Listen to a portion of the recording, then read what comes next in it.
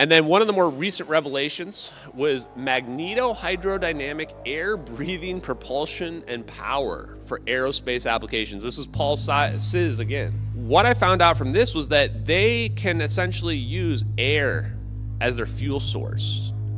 And so they can create a laser, free electron laser that zaps the air and combines that with an onboard chemical and that can be used as the fuel source, which means they don't need ro- they don't need engines, they don't need rockets on their uh, rocket uh, things filled with fuel anymore. So this hypersonic design was based on the scramjet and ramjet hypersonic vehicles, uh, mainly from Russia. One of the planes known as the Ajax.